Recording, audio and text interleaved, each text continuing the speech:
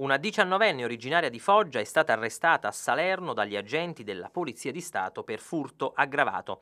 La ragazza è stata colta in flagranza all'interno di un negozio di abbigliamento, mentre oltrepassava le barriere antitaccheggio con della merce per un valore di circa 400 euro.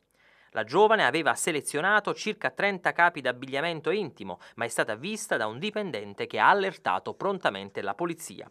Gli agenti della sezione volanti, intervenuti rapidamente nel centro commerciale, hanno bloccato la diciannovenne accompagnandola in questura, dove dopo le operazioni di rito è stata trattenuta a disposizione dell'autorità giudiziaria.